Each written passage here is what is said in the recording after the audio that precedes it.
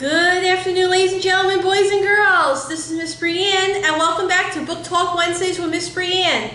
And this is a series where I provide brief book talks on all the different graphic novels and easy readers that we here have to offer at the Westhampton Free Library in hopes that we encourage you to visit us at the library in order to check out these amazing books for yourself.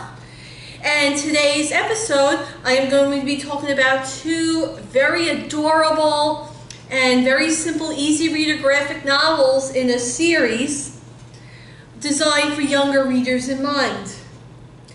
And this is a brand new series, so there's not many books out of this right now. Uh, there's only three books right now, and I'm only introducing the first two.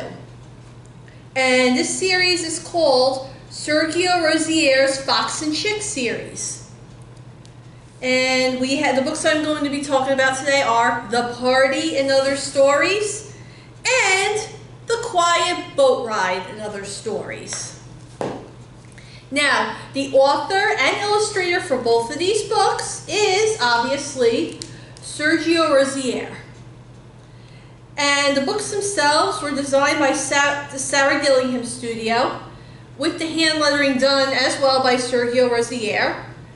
And the publisher is Chronicle Books LLC for both of them.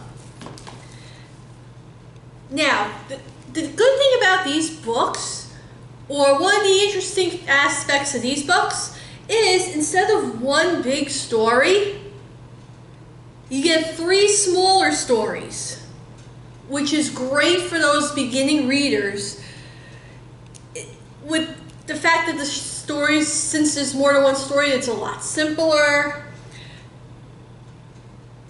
The, your young child will be able to read in a few minutes. Gives them that sense of accomplishment, whether rather than just reading a whole book and worry if you're ever going to finish it. Also, the text is very simple. It's got a nice flow to it, and it doesn't take away from the plot, but it makes it. But it's also easy to read and the illustrations are very beautiful. They're rendered in pen, ink, and watercolor. Gives it that childlike, dreamlike quality, which will appeal to many kids. And basically, what the, the series is about is we have a fox and we have a chick. They're named, obviously, Fox and Chick. They pretty much have nothing in common. And they are they can't be any more different but yet they're still the best of friends.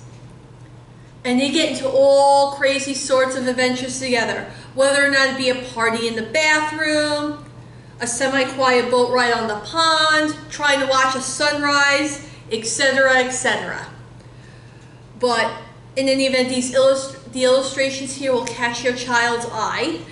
And plus, the text is very simple, doesn't take away from the action, it flows very nicely and the multiple stories in each book makes it easier for your child to finish a story and give them that sense of accomplishment.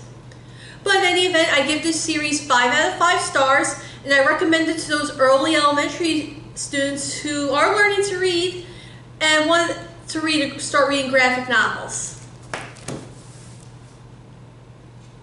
This is Miss Brianne. Thank you so much for joining me today. I will see you soon.